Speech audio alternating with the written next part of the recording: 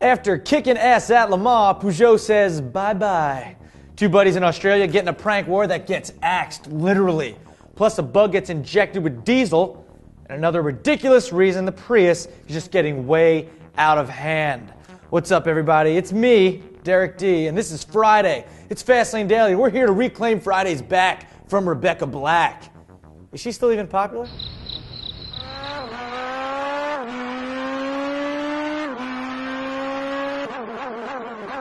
All right, let's start a little bit of sad news for you race fans. Peugeot has been killing it in Le Mans for several years with recent victories in the Six Race International Le Mans Cup and the 24 Hours of Le Mans. But as they say, all good things must come to an end.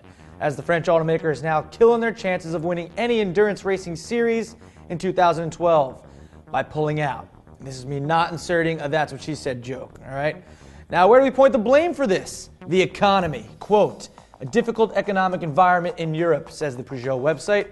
That's a serious bummer because the Le Mans races have been pretty friggin' exciting with the recent Audi and Peugeot rivalry. But hey, best of luck, Peugeot. And I hope you guys make a quick return.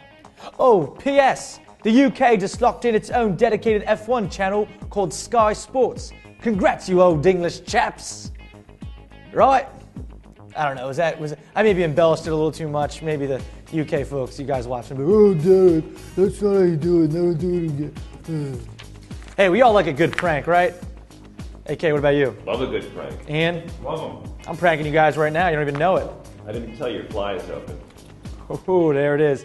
Anyway, especially when we're the ones doing the pranking, that's what's fun. Now, we have a pretty elaborate prank done Aussie style. So apparently, this one bloke jammed an axe, yes, like a huge Paul Bunyan axe, into his buddy or mate's car, as you guys say.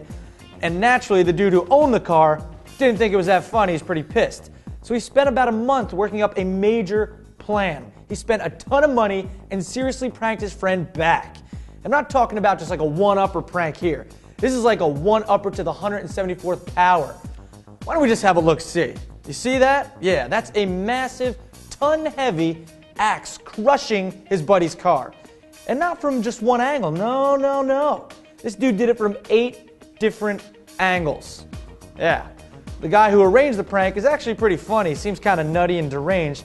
Check out his butt bomb on the hood at the end of the car. At, at the end, on the hood of the car. Yeah. Have a look at that again. It's kind of funny. Boom. All right. Now, this is funny and all, but I'm gonna have to talk to you guys for a second because these guys must have had a decent amount of coin to keep destroying each other's cars and paying for elaborate pranks like this, which leads me to believe that this was possibly set up. And maybe this is the pilot for the Australian version of Punked. It'll be called Axed, right? Where they just go around and keep axing everything. I don't know. It's just a guess. That's an educated guess. It's my hypothesis, AK. Yeah. Man, people really seem to love diesel lately. No, I'm not talking about that hideous clothing that Guidos wear. It's terrible. I'm talking about gas. And VW's new Beetle is the latest car to receive the turbo diesel treatment, as Autoblog.com has confirmed. The TDI engine will fit ever so snugly into the new Bug and upcoming convertible Bug later this year. Now, in the current Jetta, the TDI is good for 140 horsepower and 236 pound-feet of torque. Fuel economy could hit as high as 50 miles per gallon as well. So if the Beetle gets the same one, I'd say that's the most efficient Bug ever. Well, after that one ant and a bug's life, of course. Yeah. Remember when they saved his whole colony? That was nice. It's a great story. And yes, I just made an animated late 90s movie reference. No, it's just me? Would you have preferred ants? That was a good one too. Heavyweights? Not animated, just a great movie. Honey, I Shrunk the Kids. Rick Moranis. Boom, old school. All right, I'm getting sidetracked. The point is, clean diesel for the win, right, AK? Miles per gallon I'm gonna go get me. With gas prices are shooting up like crazy.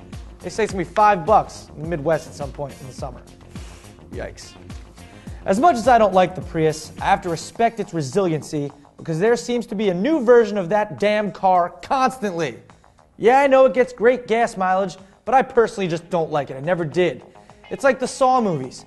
You thought you liked it at first, but then you realize it's just the same thing over and over again, and then you think to yourself, man, I should have bought a sports car I always wanted, but now I'm dead because I couldn't saw my arm off before the axe hit my face. Wow, we're in an axe themed episode today. I don't know. Obviously, my point is let's go camping. Here's the extremely even uglier Toyota Prius camper van. Yes, it's 20 inches longer than a regular Prius due to the added camper shell. And apparently it sleeps four adults. To me, it just looks like the Prius got a new hairdo. I mean, kind of looks like Elvis. Kind of has like a pompadour, you know, or maybe Donald Trump cut. Uh, I'm not sure. It's kind of, it looks like a haircut on top of the Prius. Anyway, those Prius folks. It's not actually Toyota who makes it. It's a, it's a aftermarket company. Just letting you know. Well, anyway, that'll do it for Fastlane Daily today. I'm Derek D. You guys have a great weekend. Be safe, and as always, go Giants, right, AK? Go Giants! Ah, I like that. I'm gonna pet him. Hey, that's a that's a good hand pet it. What'd you say, JF Niners? What's up, San Francisco? I see you. I see you losing. That's what I see. You tell him, Derek D. You tell him. Bye now. I love having a monitor. It's fun. Right? We're going to get axed.